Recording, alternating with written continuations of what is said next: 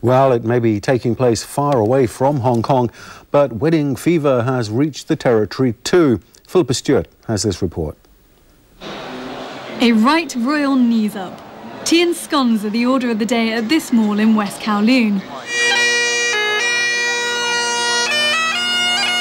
And supporters were making a bit of a noise across town as well.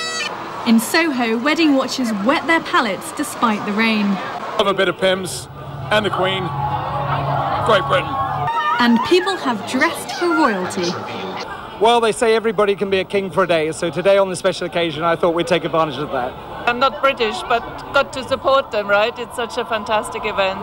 And all eyes were on what Kate wore at the wedding. Well, I was in the UK a few days ago, and royal wedding fever had certainly set in, but I didn't realise it was this contagious. My invitation might have got lost in the post, but at least I'm in the right place to celebrate. Philippa Stewart, TVB News.